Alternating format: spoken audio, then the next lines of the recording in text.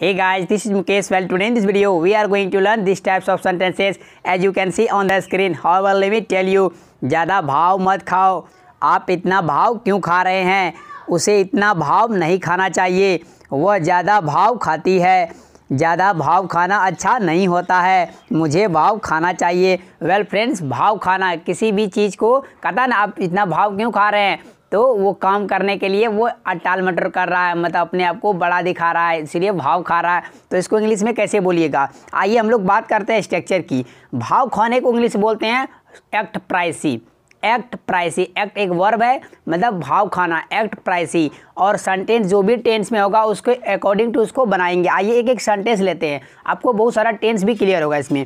ज़्यादा भाव मत खाओ, ये इम्परेटिव सेंटेंस है। इसको बोलेंगे don't act so pricey don't act so pricey ज़्यादा के लिए यहाँ पर सो लगाएँगे, ठीक है? Don't act so pricey next sentence आप इतना भाव क्यों खा रहे हैं? मतलब ये प्रजेंट इंडेफिनिट टेंस सेंटेंस है डब्ल्यू एस फैमिली क्या करेंगे? सबसे पहले वाई राइट करेंगे। Why are you acting so pricey why are you acting so pricey next sentence उसे इतना भाव नहीं खाना चाहिए। ये किसी को सलाह दे रहे जब सलाह दे तो शुड का यूज़ करते हैं। He should not act so pricey या he shouldn't act so pricey आप अगर लड़की रहेगी तो she shouldn't act so pricey next sentence next sentence है, वह ज़्यादा भाव खाती है। ये प्रजेंट इंडेफिनिट टेंस का सेंटेंस है। ही सीट नाम के साथ भी फाइव लगता है। वर्ब का पाँचवा फॉर्म मतलब एस और ई एस लगेगा वर्ब में। वह ज़्यादा भाव खाती कोई गर्ल्स है। She acts so pricey well यहाँ पर एक्ट में एस लगा देंगे। She act so pricey next sentence ज़्यादा भाव खाना अच्छा नहीं होता है। ज़्यादा भाव खाना अच्छा नहीं होता है।